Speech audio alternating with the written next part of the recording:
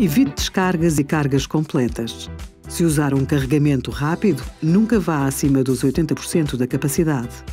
Em carregamentos lentos, pode carregar até aos 100%.